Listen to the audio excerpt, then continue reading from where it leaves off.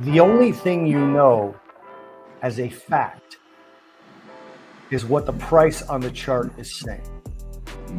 So, in other words, here's a fact about Lowe's.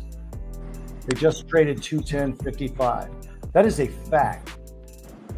And that is the only thing I can know as a fact. Okay? Mm-hmm. I know the cycle high for Lowe's right now is about 234.38. That's the cycle high.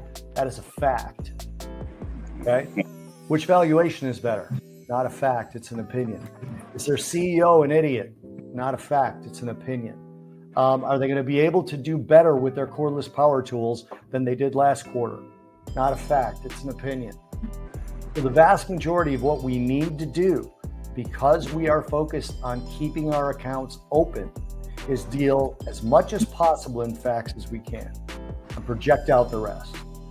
Gotcha. And technical and price action, those are the only things that you and I and everybody watching this as retail traders can be 1000% sure is a fact. It's mm-hmm. price.